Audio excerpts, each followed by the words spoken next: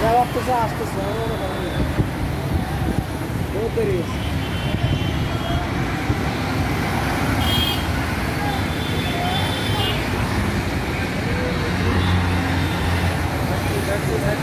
o you.